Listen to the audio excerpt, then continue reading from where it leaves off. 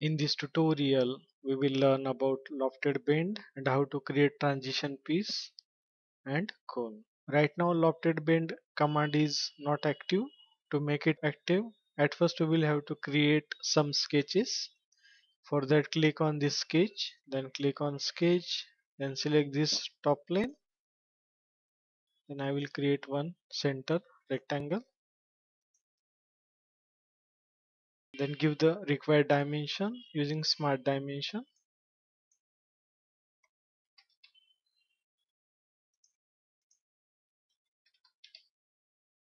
Then for lofted bend the corners needs to be smooth. For that apply sketch fillets. Then give the radius and select the edges.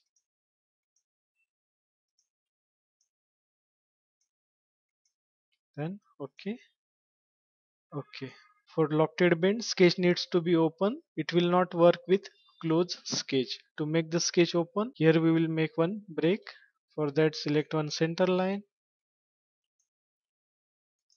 Then click on this offset entities.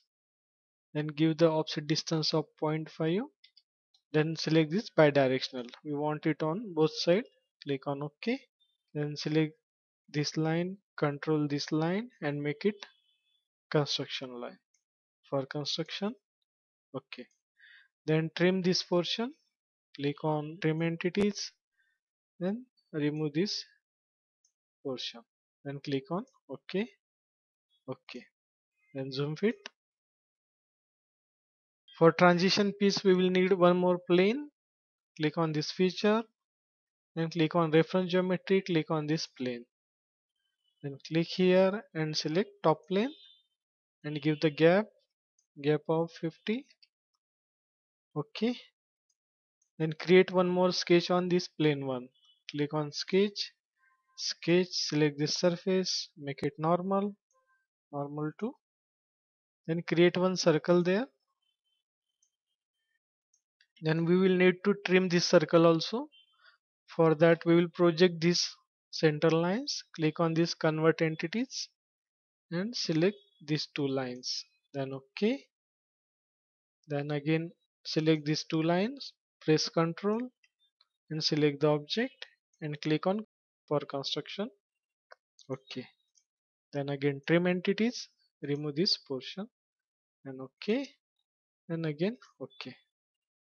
Then hide this plane one click on it and click on this hide and click on sheet metal. Now this lofted bend is activated. And click on this lofted bend select this sketch. Select this sketch. Then give the thickness. I want it 1 and from here you can reverse the direction for thickness whether you want it outside or inside. Click on ok. Same way you can use this lofted bend command for creation of cone. For that we will start new part. Okay then again we will create a sketch click on sketch then select this top plane and create one circle. Give the dimension 150 diameter. Then again we will have to break the circle. For that we will create one center line. Center line from here to here. Again offset it. Offset entities give the gap of 0.5 then click on ok. Then select these two lines. Press ctrl during selection. Then click on this for construction. Okay then trim it. Trim entities. Then okay zoom fit.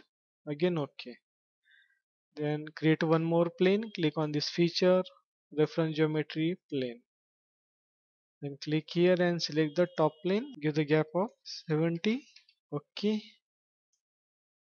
Then click on sketch. Again click on sketch. Select this plane. Make it normal to and create one circle. Give the dimension. Suppose it is 25 again project this line for trim. Click on this convert entities select this line this line. Okay select this line control this line and select this for construction. Okay? Then trim it trim entities remove this portion. Okay? Okay.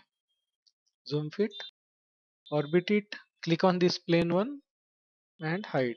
And click on sheet metal select this lofted bend select this first sketch select this second sketch then give the thickness give the number of bend lines you want. Choose the direction and click on ok. Now if we flatten it in this way you can flatten the cone also. That's all.